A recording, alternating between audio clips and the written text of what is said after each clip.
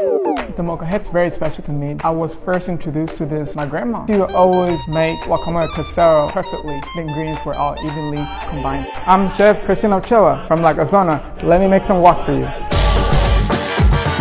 One of the most popular dishes is the guacamole casero. But we're gonna start with the onion, tomato, chili, limes, cilantro, avocado. The last ingredient, kosher salt. They can make it right at your table. For more information, visit lacazonamexicangrill.com.